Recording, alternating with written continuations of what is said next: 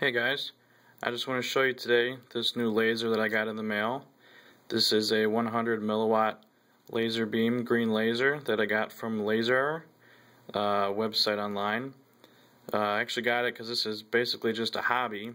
You know, this isn't something serious or, you know, I've researched and thousands of people collect laser beams in the, the hundreds of dollars and this one wasn't too expensive, but uh, which is why I got this one. Um, so I'm just going to do a little demonstration of it. This is definitely something more powerful than you'll see at uh, you know your store or something you play with your cats with. This is not something to, to mess around with. As you see, it's got the typical danger sticker on there. Because um, it is it is dangerous uh, if you point at eyes or anything like that, or even if you stare at it close up. Um, it does start to affect your eyes. This one I got is the 100 milliwatt from Lazerer. Um, this is what came in the mail. Uh, it's actually kind of a big unit. Uh, the string, as you can see, it's starting to fray a little bit, um, so it's, you know, not something that I'm going to keep on there.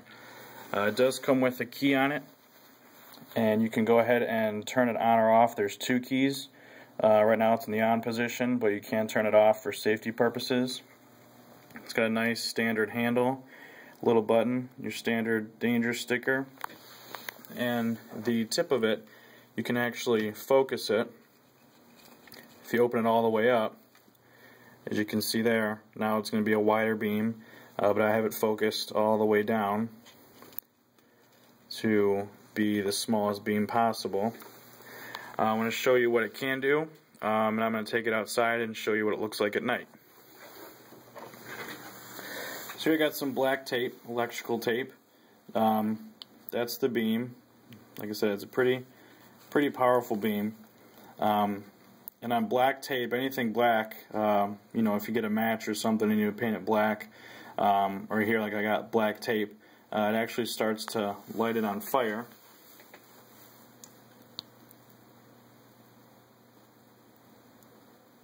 And as you can see, it's starting to smoke. This is if you give it, you know, if you do it just right, you focus it just right, and you're just the right amount of distance away from it. As you can see though it is starting to smoke. This pops balloons, I haven't tried that yet. Um, lighting a match is a little bit harder to do. But actually it's probably not going to work very well right here because I've been doing this all day. A little better on this side. Starting in the corners works really good. This is the 100 milliwatt. Anything over 50 will do this. Um, this actually came with a power certificate of 102. Uh, each one they test to certify the power of it. So this one actually came out to be 102, so you get a little bit more, uh, which actually doesn't make too too big of a difference. As you can see though, it was starting to, I've been playing with it all day, so it was actually eating away at the tape. So let's go outside and see what this looks like at night.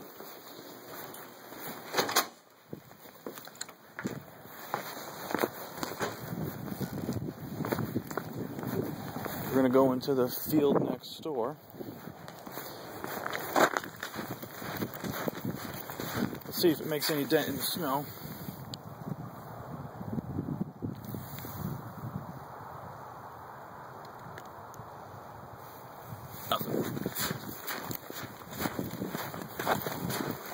Wow. Don't live in the Midwest because you get all this snow. Alright, as you can see, it's nighttime out. So I'm not playing. Got my beam out here. I don't know if it's not easy to see.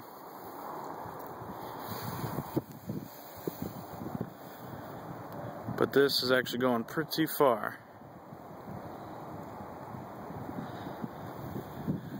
And there is a constant stream of light. You can't really see it though because of the camera, but there's actually a beam that you can physically see that sticks all the way out there. And this thing shines pretty far. This is about a two mile radius radius that you can see it from.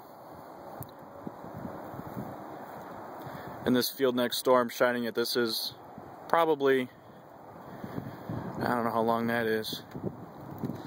It's probably a quarter mile to that light right there. Quarter mile to a half a mile to that light. And it's shining down there pretty accurately. There's a sign across the street. And the beam is perfectly, perfectly visible.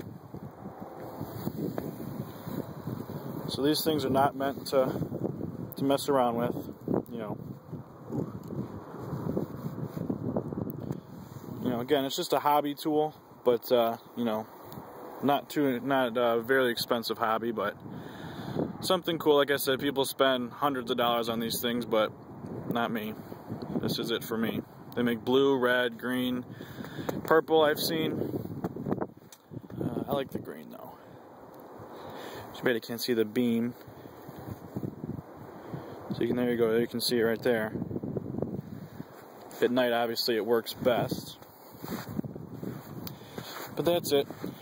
Just a quick little video of my little laser that I got from Lazerer. Again, this is the 100 milliwatt. I also got a, battery, rechargeable battery with it, and a charging station for it.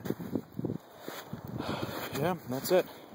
I'll try and post a video soon of me popping balloons if I go out and buy balloons, but